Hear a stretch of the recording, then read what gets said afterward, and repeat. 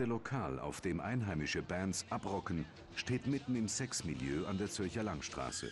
Viermal pro Woche geht man im Long Street live zur Sache. Vier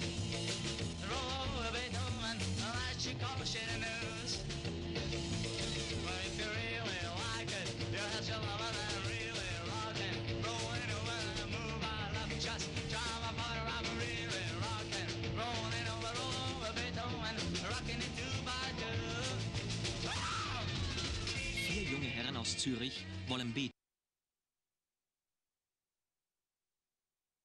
überrollen. Und man muss schon sagen, in Bezug auf die Lautstärke gelingt ihnen das glänzend.